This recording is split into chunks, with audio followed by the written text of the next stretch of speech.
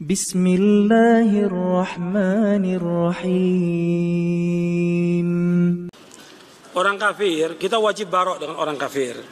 Nah, bagaimana dengan muamalah kita dalam sehari-hari dengan orang kafir? Diatur dalam Islam.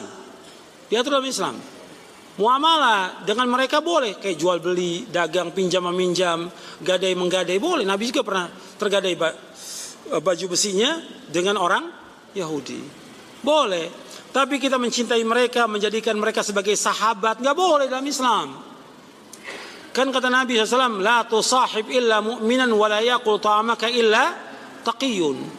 Jangan kalian bergaul, melainkan kepada orang yang beriman saja. Dan jangan makan-makan kalian makan orang-orang yang bertakwa kepada Allah. Jadi kita nggak boleh menjadikan orang kafir itu sebagai teman dekat kita, sahabat karib kita nggak boleh banyak. Di dalam ayat Quran berapa ayat menjelaskan tentang itu? Nggak boleh kita. Dan mencintai mereka nggak boleh. Tapi muamalah dengan mereka dalam artinya jual beli boleh. Dalam Islam boleh.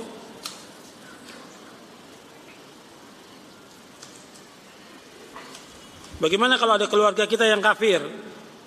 Ya kita dakwakan supaya dia masuk ke dalam agama Islam. Masuk sebagaimana sahabat-sahabat ketika mereka masuk Islam, mereka mendakwakan keluarganya. Seperti uh, ada seorang sahabat yaitu Tamim Ad-Dari. Tadinya orang Kristen dia, Nasrani. Kemudian masuk Islam. Kemudian setelah masuk Islam dia mendakwakan kepada keluarganya. Di antara keluarganya ada yang masuk Islam, di antara keluarga tetap dalam Kristen. Kata dia, aku melihat keluarga saya, famili saya yang masuk Islam bahagia hidupnya.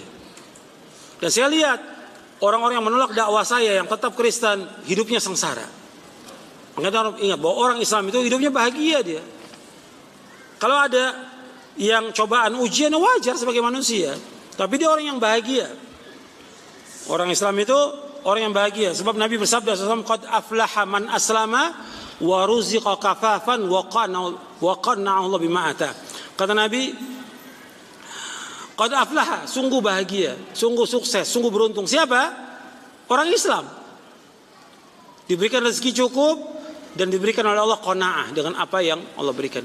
Diberikan puas dengan rezeki yang Allah berikan. Hadis ini sahih riwayat Muslim. Allah Nabi menyebutkan bahwa orang Islam itu bahagia, sukses.